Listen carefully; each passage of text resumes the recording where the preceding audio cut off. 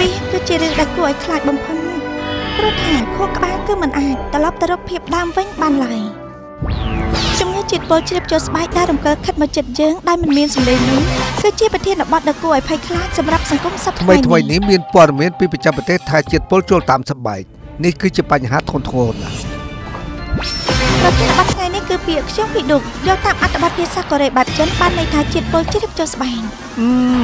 ខ្ញុំគិតថាមានមនុស្សជាច្រើនដែលយកចិត្តទុកដាក់ចំពោះម្ហូបអាហារឬក៏ទឹកដែលចូលតាមមាត់តែប៉ុណ្ណោះទេក៏ប៉ុន្តែសារធាតុគីមីដែលជ្រាបចូលតាមស្បែកក៏មានច្រើនណាស់ដែរចាស់ពិតមែនហើយ ជំហានដំបូងយើងនឹងបង្ហាញអំពីរឿងរ៉ាវបាទមែនហើយនៅពេលបន្តិចទៀតនេះអ្នកនាងយ៉ាម៉ាស៊ីថាអាខាយ៉ូគឺជាមេផ្ទះសាមញ្ញម្នាក់ប៉ុន្តែមានថ្ងៃមួយគាត់ក៏បានជួបនឹងបញ្ហាធ្ងន់ធ្ងរដូចជាចនរកដែលនឹកស្មានមិនដល់អញ្ចឹងអញ្ចឹងសូមទស្សនាទាំងអស់គ្នាអ្នកនាងយ៉ាម៉ាស៊ីថាអាខាយ៉ូគឺជាមេផ្ទះសាមញ្ញម្នាក់ប៉ុន្តែមានថ្ងៃមួយគាត់មានបញ្ហាធ្ងន់ធ្ងរដូចជាចនរកដែលនឹកស្មានមិនដល់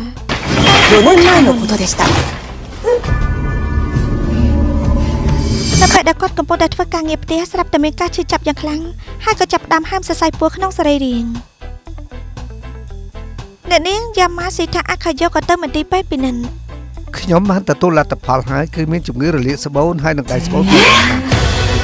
ដោយមានការឈឺចាប់ស្បូនខ្លាំងហើយស្បូនក៏ហើមរហូតដល់25សង់ទីម៉ែត្រពេលដែលខ្ញុំក្រោកពីគេងព្រឹកឡើងខ្ញុំឆ្លុះកញ្ចក់មើលស្រាប់តែឃើញសក់ស្កូវបាសឡើង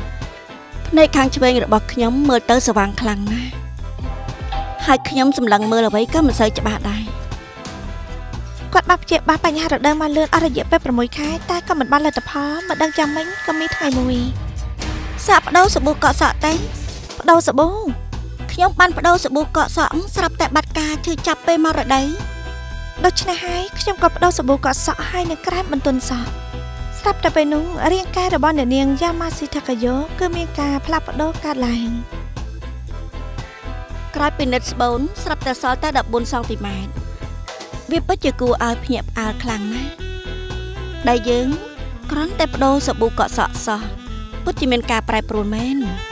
ខ្ញុំគិតថាវាពិតជាអស្ចារ្យខ្លាំងណាស់គ្រាន់តែបដូរសាប៊ូកក់សក់ប៉ុណ្ណោះហើយអ្វីបានជារាងកាយអ្នកនាងយ៉ាម៉ាស៊ីថាអាខាយ៉ូមានការផ្លាស់ប្ដូរបែបនេះ លោកសាស្ត្រាចារ្យអ៊ីណាជឺនៃសាកលវិទ្យាល័យគិលានុបដ្ឋាយិកាថេអ៊ីខូហៃស៊ីសារធាតុគីមីដែលផ្សំក្នុងសាប៊ូកក់សក់និងក្រែមបន្ទន់សក់ដែលចូលទៅក្នុងខ្លួនយើងតាមរយៈស្បែកគឺអាចបង្កគ្រោះថ្នាក់ដល់រាងកាយយើងបានច្រើនប្រភេទណាស់អ្វីដែលហៅថាជាអត្តពលអាក្រក់គឺដោយសារធាតុបង្កគ្រោះថ្នាក់ដែលបានជ្រាបចូលរាងកាយតាមរយៈស្បែកនោះគេហៅថាជំងឺជ្រាបជាតិពុលចូលក្នុងស្បែក សាប៊ូដែលអ្នកនាងយ៉ាម៉ាស៊ីថាអាខាយ៉ូបានប្រើប្រាស់នោះគឺមានសារធាតុផ្សំគីមីយ៉ាងច្រើន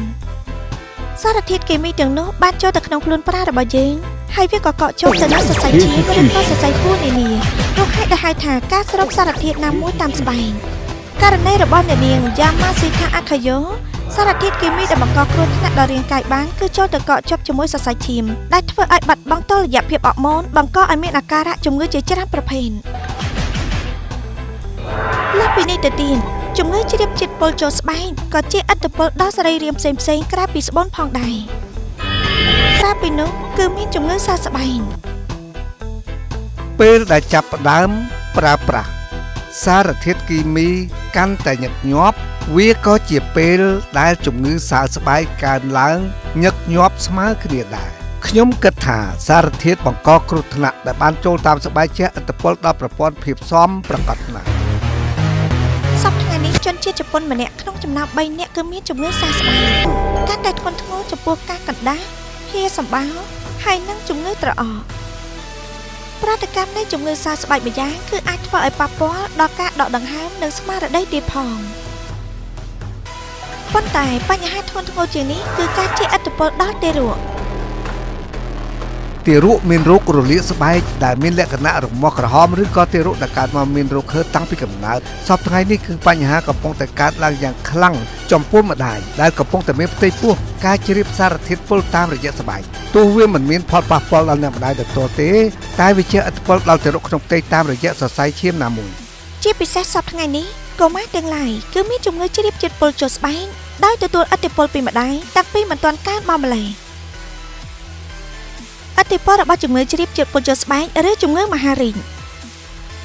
ការពិសោធន៍ចំពោះសត្វគឺបានរកឃើញថា សារធាតុពណ៌មួយយ៉ាង ដែលផ្សំក្នុងគ្រឿងសម្អាង គឺបង្កឲ្យមានជំងឺមហារីកក្រៅសង្គ្រាមលោកអត្រាស្លាប់របស់មនុស្សកើនឡើងខ្ពស់ដោយសារដុំសាច់ដុះយ៉ាងកាចសាហាវតាមហេតុមួយក្នុងចំណោមនោះគឺអាចមកពីជំងឺជ្រាបជាតិពុលចូលស្បែកអតិពលរបស់ជំងឺជ្រាបជាតិពុលចូលស្បែកឬហៅថាជំងឺខួរក្បាល វាមានការកើតឡើងនៅជំងឺអូទីសឹមនិងជំងឺមិនពេញវ័យការកើតឡើងនៅអាការៈបែបនេះយើងក៏មិនអាចសន្មត់ថាមកពីជំងឺជ្រាបជាតិពុលចូលទៅក្នុងស្បែកតែម្យ៉ាងក៏ពិតមែនតែភាគច្រើន វាអាចទៅរួចដោយមូលហេតុទាំងអស់នេះដែរពីមុនសារធាតុគីមីដែលបានផ្សំក្នុងសាប៊ូដុំឬក៏សាប៊ូដែលមានចំណុចពិសេស ដែលអាចលាងជម្រះជាតិខ្លាញ់បានយ៉ាងងាយម្យ៉ាងវិញទៀតនោះកោសិកាខួរក្បាលរបស់មនុស្ស60%គឺមានសារធាតុខ្លាញ់ដូច្នេះគឺវាអាចស្រូបយកសារធាតុគីមីដែលបង្កឲ្យមានគ្រោះថ្នាក់លើរាងកាយយើងបានយ៉ាងងាយស្រួលបំផុតដូច្នេះអ្វីដែលគួរឲ្យព្រួយបារម្ភនោះគឺខួរក្បាលរបស់ក្មេងៗចំពោះទារកដែលមានអាយុប្រហែលជា3ខែសារធាតុគ្រោះថ្នាក់ដែលជ្រាបចូលខួរក្បាលនោះ មិនបង្ហាញអំពីបញ្ហាផ្នែកខាងក្រៅពិតមែនតែទារកអាចកើតមកដោយមិនមានស្មារតីល្អហើយឆាប់ខឹងទៀតផងអញ្ចឹងយើងសាកល្បងពិនិត្យនៅអ្វីដែលជាឥទ្ធិពលដ៏ធ្ងន់ធ្ងរជំហានជាដំបូងយើងបានសាកល្បងហើយនឹងពិនិត្យនៅអ្វីដែលជាឥទ្ធិពលដ៏ធ្ងន់ធ្ងរតោះតើមកបន្ទប់ទឹកទាំងអស់គ្នាទេយើងត្រូវតែប្រយ័ត្នចំពោះសារធាតុគីមីដែលមានឈ្មោះថា សូដ្យូមឡូរ៉េញត្រីអេតាណុលឡាមីនដែលមាននៅក្នុងសាប៊ូដុំឬក៏សាប៊ូកក់សក់ព្រោះវាជាឥទ្ធិពលដល់រាងកាយត្រូវប្រយ័ត្នចំពោះផលិតផលងុយទឹកនានាកម្រិតការជ្រាបសារធាតុផ្សំនោះខ្ពស់គឺត្រង់ផ្ទៃមុខក្លៀកនិងប្រដាប់ភេទនៃខ្លួនប្រារបស់យើងតោះមកមើលបន្ទប់ផ្ទះបាយទេ សម្រាប់សាប៊ូលាងចានដែលមានសារធាតុអាស៊ីតបងសែនដែលយើងតែងតែប្រើប្រាស់ក្នុងផ្ទះបាយគឺអាចក្លាយជាដើមហេតុដែលធ្វើឲ្យប្រអប់ដៃជ្រាវជ្រួញសូមប្រយ័ត្នចំពោះការប្រើប្រាស់គ្រឿងសម្អាងលើស្បែកមុខស្ដាំផងដែរដែលមានផ្សំសារធាតុអ៊ីតាគឺអាចបង្កឲ្យមានជំងឺសើស្បែកហើយសារធាតុពណ៌នឹងបង្កឲ្យមានជំងឺមហារីកជំហានដំបូងគឺវិភាគលើសារធាតុគីមីដែលបង្កគ្រោះថ្នាក់ទាំង1500ប្រភេទតាមមានអ្វីមិនល្អយើងគួរយកចិត្តទុកដាក់ចំពោះផលិតផលដែលប្រើប្រាស់ប្រចាំថ្ងៃរបស់យើង។ ដោយសារតែសារធាតុផ្សេងផ្សេងដែលជ្រាបចូលទៅក្នុងស្បែករបស់យើងដោយមិនដឹងខ្លួន ដូច្នេះវាពិតជាមានការភ្ញាក់ផ្អើលណាស់នៅពេលដែលឮថាមានជំងឺជាតិពុលដែលជ្រាបចូលទៅក្នុងស្បែករបស់យើងយ៉ាងវិញទៀតមិនមែនមនុស្សម្នាក់ម្នាក់សុទ្ធតែមានអាការៈដូចគ្នាទេដោយសារតែឥទ្ធិពលនៃជំងឺជាតិពុលជ្រាបចូលស្បែកដែលវាបង្កពីសារធាតុគីមីដ៏គ្រោះថ្នាក់នោះចំណុចខ្លះទៀតនៃជំងឺនេះគឺវាមានលក្ខណៈមិនច្បាស់លាស់ដូចទៅនឹងទំនាក់ទំនងមនុស្សដែរតែវាប្រហែលជាមានឥទ្ធិពលល្អចំពោះអ្នកដែលមានអាការៈប្រតិកម្មស្បែកក្នុងការសាកល្បងប្រើប្រាស់ផលិតផលដែលប្រចាំថ្ងៃផ្សេងទៀតដែលមាននៅជិតខ្លួន បាទមុននេះគឺយើងបានស្ដាប់លោកវិជ្ជបណ្ឌិតបានណែនាំប្រាប់ហើយអំពីផលប៉ះពាល់ប្រសិនបើរាងកាយមានភាពមិនល្អឬក៏ខុសប្រក្រតីសូមសាកល្បងបដូរផលិតផលប្រើប្រាស់ប្រចាំថ្ងៃវិញម្ដងទៅ